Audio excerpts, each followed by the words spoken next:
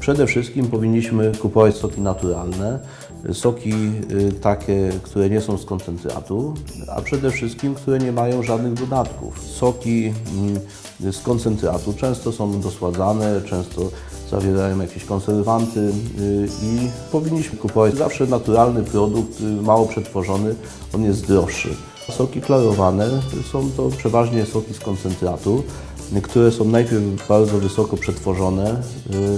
Y, Jest ten sok wielokrotnie zagęszczony, poddany wysokiej temperaturze, y, następnie często y, zakwaszany sztucznie, chemicznie i później dopiero rozlewany, mieszany z wodą.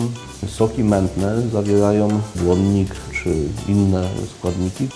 Nasze soki są robione w taki sposób, gdzie ta technologia przetwarzania jest bardzo prosta, nie jest skomplikowana. Dzięki temu y, y, wiele tych walorów zdrowotnych jest zachowanych w tym soku.